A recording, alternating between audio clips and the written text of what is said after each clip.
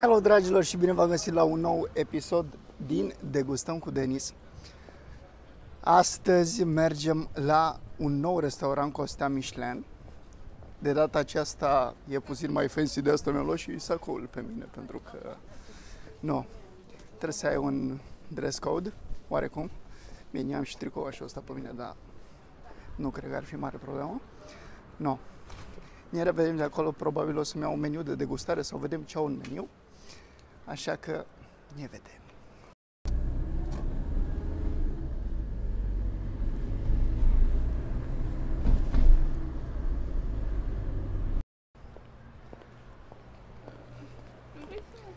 Legat 1903 se numește, dragilor. Și am avut, uh, hello, arată demențial.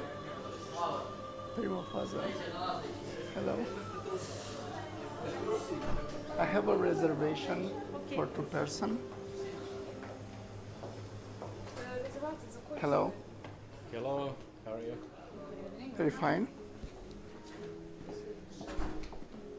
Two of you, right? Yes. You like this first part of the restaurant? You Like balcony, or we have open balcony? Up to you. Uh, open.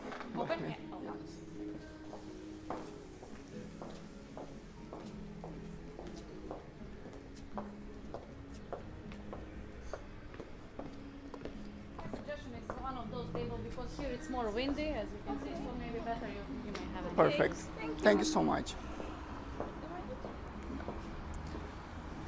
Wow. No, așteptăm meniul și vedem ce se întâmplă. Mi-am ales uh, tasting menu la 5500 de dinari și o să primesc undeva la 4 preparate plus un desert. O să fie surpriză ce primesc, că nici nu știu. I-am zis, băi, dă meniul ăsta cel mai micuț și ieftin și amu vedem ce o să se întâmple. Sper să-mi placă, mă, dar n-au cum să nu-mi placă. Adică, până la urmă, suntem la o stea. Ce poate să fie atât de rău? Nu? Pentru început am primit un amuse bush. Aici avem uh, un spring rolls cu un pesto, pare a fi de pătrunjel și o selecție de pâinici făcute în casă, care sunt uh, calde de altfel, acum scoase la cuptor, în afară de grisinele astea. Eu mi-aduce aminte de șef Bonte când mă punea, când mă punea la șef la cuțite să învelesc uh, astea în uh, prosciutto. Hai să, hai să degustăm asta cu mine. Și la stele poți să mănânci cu mâna, să țineți minte. Ia să vedem.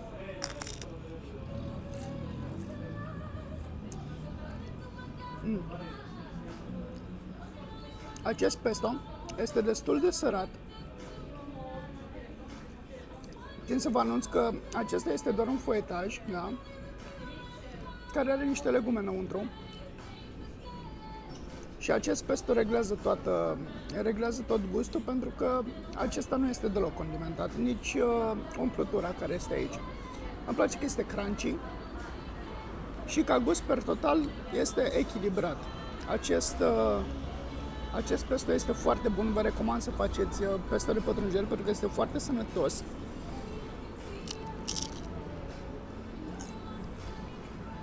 Doamne. Țineți minte de la mine.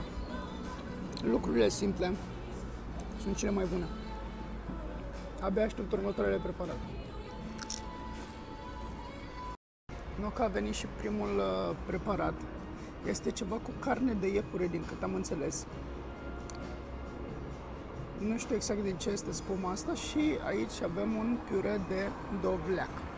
Hai să vedem și gustul, cum se prezintă.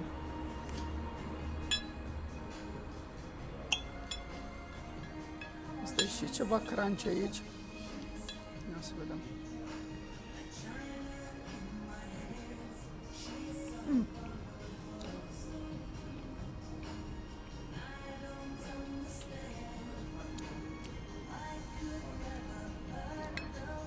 Se simte foarte intens gustul iepurelui și după cum se poate observa, sunt și niște semințe în interior Da. Și îmi place foarte mult uh, că iepurile a fost tăiat în bucățele mai mari și simți că îl mănânci. Mm.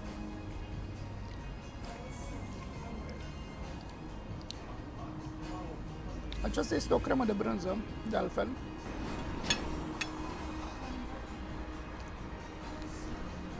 Acestui prim preparat o să-i dau un 8. Este bun, dar nu este per total pe gustul meu. Nu, e, nu înseamnă că nu este greșit.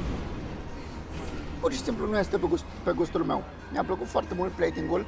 Eu aș fi ales uh, o farfurie mai puțin adâncă de atât pentru a scoate mai mult în evidență acest preparat. Hai să mai iau o gură totuși. Nu vreți să știți cât, uh, cât de pregnant se simte gustul iepurilor. Mi se pare genial cum au făcut treaba asta într-o farfurie. Wow. Mm.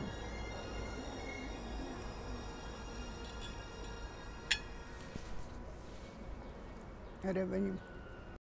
A venit și al doilea preparat și ce mi-a plăcut cel mai mult, sau se vede din start că sunt profesioniști, farfuria este caldă.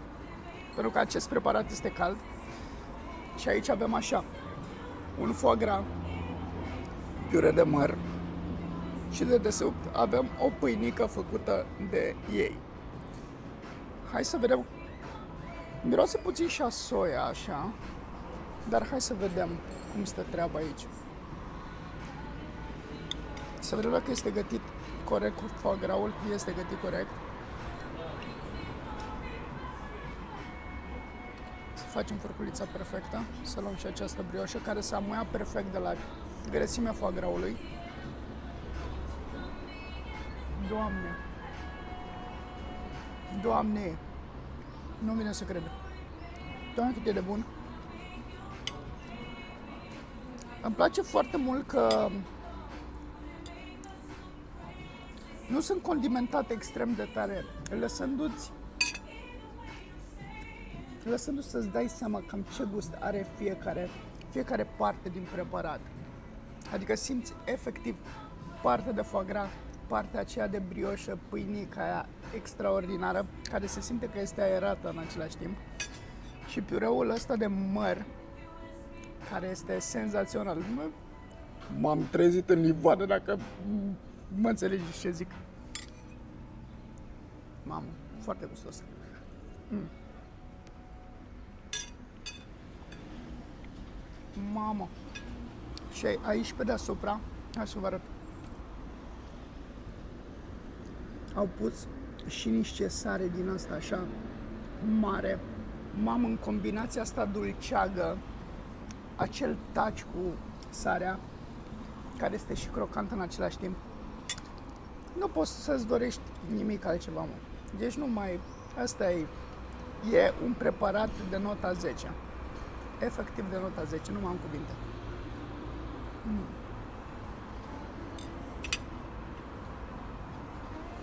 Nu am cuvinte. Simt cum măcăre.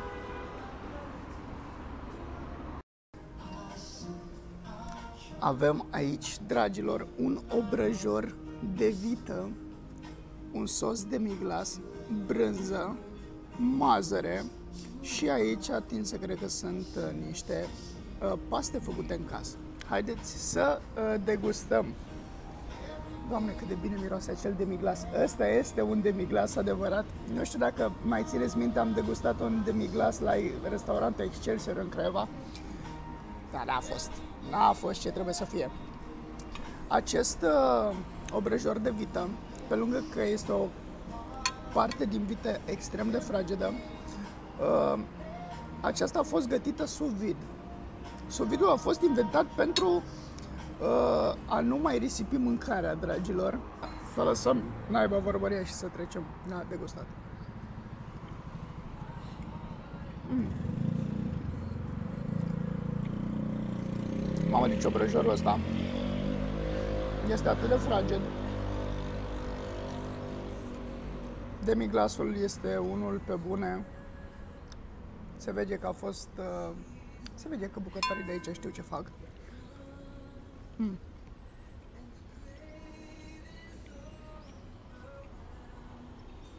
Aceste paste sunt uh, făcute, sunt gătite al dente. Mazărea de asemenea este foarte al dentă. Iar combinația asta cu brânza, nu m-am gândit niciodată să combin brânza cu vita. Mm. Ok. Are textură de cașcaval, practic, această brânzică. Foarte bun, de altfel. Și având în vedere că acest meniu a costat 5500 de dinari, asta ar veni undeva pe la vreo 230 de lei, cam așa. Eu zic că te sfaturi în banii ăștia, sincer, pentru că porțile sunt destul de măricele. Și eu, având în vedere că sunt Dita mai Mărlanu, deja sunt aproape săturat. O să-i dau un 10 acestui preparat. Aici avem preparatul cu numărul 4 din câte țin eu minte că nici deja nici mai le număr. Chiar dacă sunt puține, tot nu le număr. Așa, avem un uh, steak de vită cu un piure de cartofi și sos de piper verde. Dragilor, se vede din star cremozitatea acestui piure. Nu știu cum să vă spun, dar eu sunt încântat. Mie se vede că are cât trebuie vorba am fost în, l-am învățat pe Bagea să facă piurea.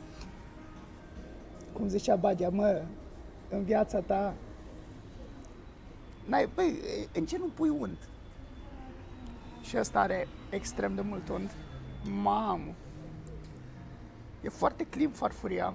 Asta îmi place foarte mult. Îs atenți la detalii din cap până în picioare, mă.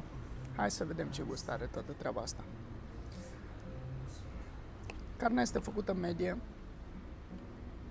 Ia să vedem.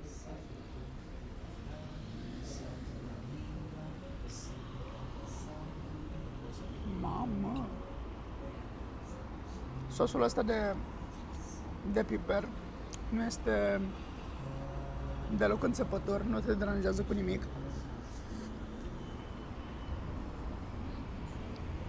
Baza acestui uh, sos este tot demiglasul în care în primă fază în uh, tigaie prăjești așa puțin piperul ca să iasă toate aromele din el, îl flambezi cu coniac de cea mai înaltă calitate dacă se poate și după aceea torni acest sos de miglas. Efectiv, asta este farfuria perfectă pentru un gurman, după mine. Deci e perfectă la gust. N-am, efectiv, la tot ce am mâncat până acum, n-am nimic de spus față de tehnica de preparare și așa mai departe. Totul a avut un gust uh, inedit, corect, doar că na, primul fel n-a fost pe gustul meu, i-am dat 8, a e, dar asta e de 10. Doamne, de de bun. Mm. Să oară puțin și carnea. Este gătită tot la fel sub vid și a fost dată puțin pe plită, așa numai cât să o încălzească.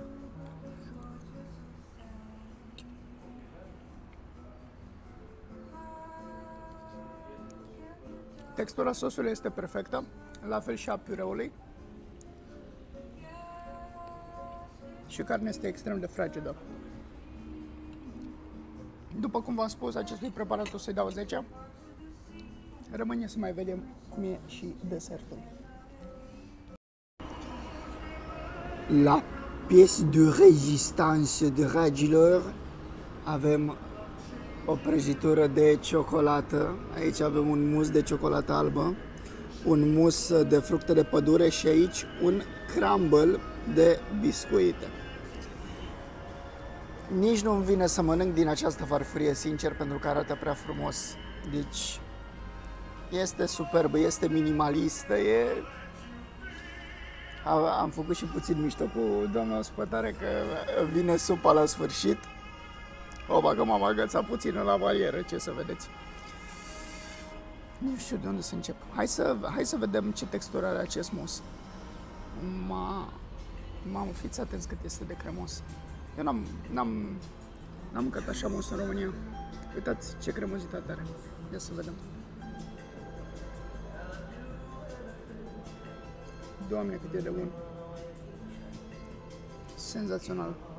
Și când vă gândiți că ciocolata albă este făcută din lapte praf,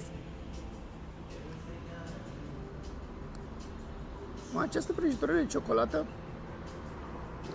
are, are textura unei, unui baton de ciocolată de la noi, dar așa lăsat puțin afară la căldură, că se moaie. Exact la fel este gustul. Doamne, cât e de bun! Wow! Hai să, hai să facem lingura perfectă. Am luat frumos aici prăjiturica asta de ciocolată, luăm și din mus și luăm și puțin din acest scramble. Ia să vedem. Mm. Puțină mentă. Trebuie și mentă.